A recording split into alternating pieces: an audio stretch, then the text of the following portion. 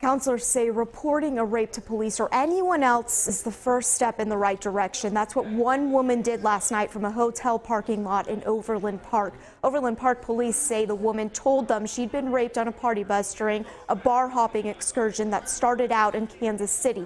She ended up at this parking lot, the Candlewood Suites near Oakmont. She says she didn't know the man. Counselors with the Metropolitan Organization to Counter Sexual Assault, or MOCSA, say the best thing to do is to tell someone about what happened. Melanie Austin works for MOCSA and says this can happen to anyone, anywhere. I think a lot of um, times people will want to blame themselves for what's happened. Um, it can be embarrassing, so people don't want to talk about it.